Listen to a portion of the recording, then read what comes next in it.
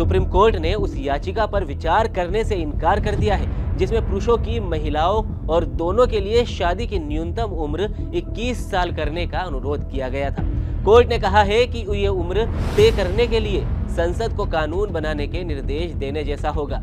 Chief justice of India D Y Chandrachud, न्यायमूर्ति P S Narasimha और न्यायमूर्ति जे बी पारदीवाला की बेंच ने कहा कि वे इस मुद्दे पर विचार नहीं करेंगे। ये मामला विधायकी के अधिकार क्षेत्र में आता है। केंद्र की ओर से सोलिसिटर जनरल तुषार मेहता ने कहा, यह कानून बनाने के जैसा होगा। ये विधायकी के अधिकार क्षेत्र में आता है। एक प्रावधान को खत्म करने से ऐसी स्थिति पैदा होगी, जहाँ महिलाओं की शादी के लिए कोई न्यूनतम आयु नहीं होगी। प्रधान न्यायाधीश ने कहा कि अगर अदालत इस दलील पर विचार करेगी तो ये संसद को न्यूनतम आयु तय करने का निर्देश देने जैसा होगा।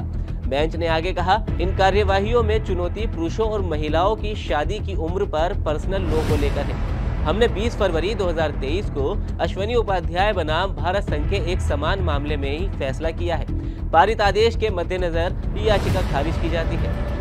शाहिदा कुरेशी की दायर याचिका में महिलाओं के लिए शादी की कानूनी उम्र को बढ़ाकर पुरुषों के बराबर 21 साल करने का अनुरोध किया गया था। तो दोस्तों, सुप्रीम कोर्ट के इस फैसले पर आपका क्या कहना है? आप हमें कमेंट सेक्शन में ज़रूर बताएँ। वीडियो अच्छा लगा हो तो लाइक करें और हमारे चैनल को सब्सक्राइब ज़रूर करें।